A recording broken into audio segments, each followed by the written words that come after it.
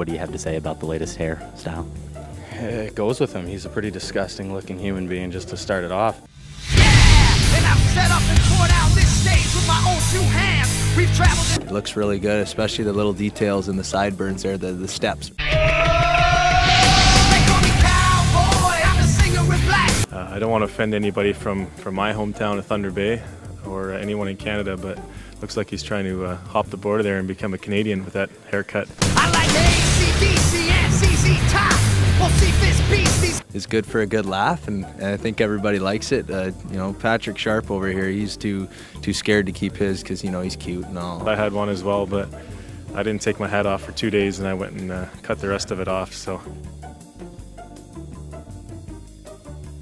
Uh, I think it's it's pretty funny. He uh, I don't know if he looks very good, but it's funny. It suits him. I think it looks better than his original haircut, so